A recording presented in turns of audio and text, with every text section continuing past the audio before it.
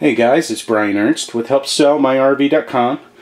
I'm just going to show you what I look for as far as when I do a walk around on a camper.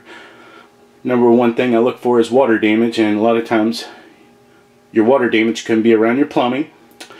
In this case, on the toilet, what I'll do is take my foot and check for soft spots.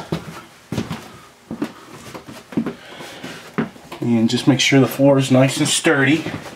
And I'll even look for any discoloration in the linoleum floor. Sometimes it will turn purple or pink. And uh, a lot of times that's that's a sign that it has leaked.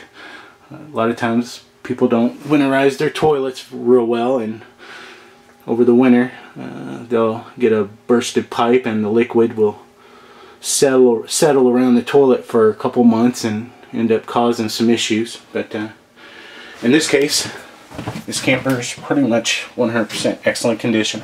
I didn't find any soft spots, so hope you enjoyed the video.